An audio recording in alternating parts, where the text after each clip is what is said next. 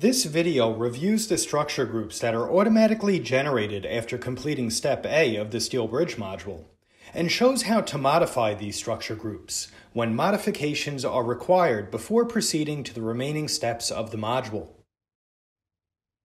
In the Steel Bridge module, after completing Step A to generate a new model, model geometry is generated. Along with this geometry, Several structure groups are also created at this same time. These structure groups are important when proceeding to later tasks in the module, as the module uses detection algorithms that interact with the structure groups in order to detect the model's geometry. Here we can see the structure groups that have been automatically created. To ensure the detection algorithm can recognize the model's geometry, the structure groups that are automatically created should be preserved within the model.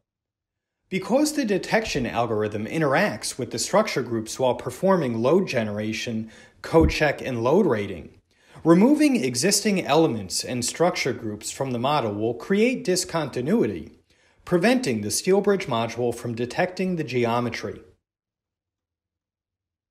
Girder structure groups consist of geometric elements that the girders are composed of.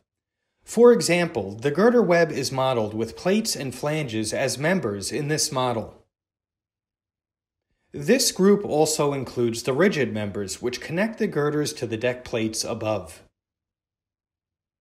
As we can see, some structure groups will also be repeated under the Bridge Module Groups folder. These include girders, bearing groups, and separate structure groups for each individual cross-frame and deck group within this folder.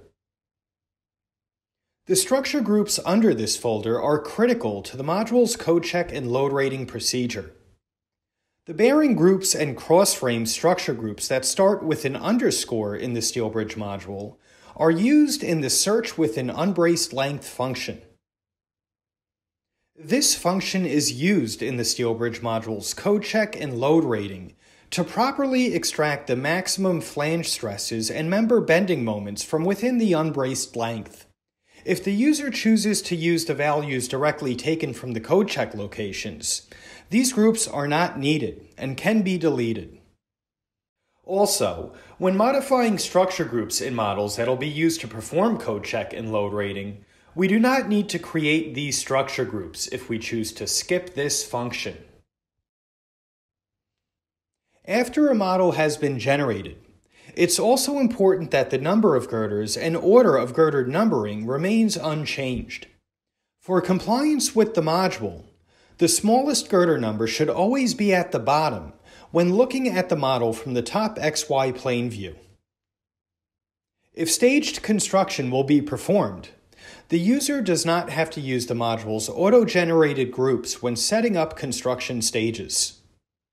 This won't create any conflicts, as the module directly maps the result case and girder structure groups when performing code check or load rating. If there are manual modifications in model geometry after completing Step A, for example, if extra plate elements are added to the deck, these elements must be included in all of the deck structure groups before proceeding to the other steps of the module.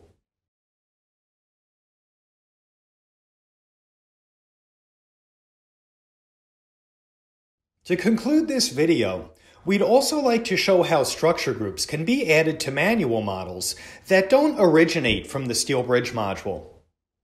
To do this, we manually create structure groups using the same format as those that are automatically generated by the module. Here we can see a simple structure group being added to a Larsa 4D model using the same naming convention as used by the SteelBridge module. Now that we've ensured the structure groups can interact with the module's model detection algorithms, we can open the SteelBridge module from Larsa's design menu and continue directly with the remaining steps of the module. We hope you found this video helpful, and we welcome you to contact us if we can provide further information or assist your project needs.